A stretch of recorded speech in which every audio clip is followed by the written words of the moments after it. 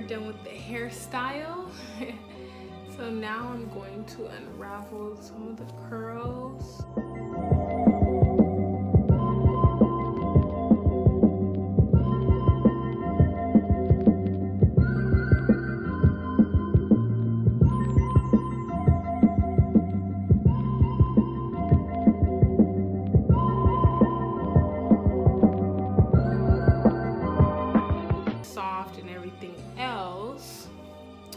So I really hope you enjoyed the video dolls.